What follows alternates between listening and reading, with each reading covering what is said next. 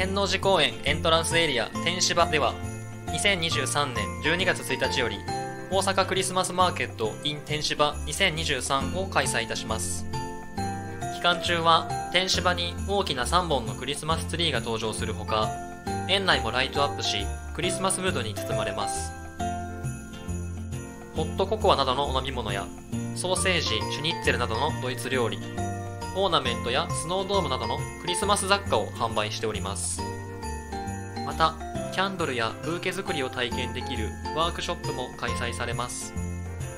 詳細は電子場ホームページや大阪クリスマスマーケットホームページをご確認ください。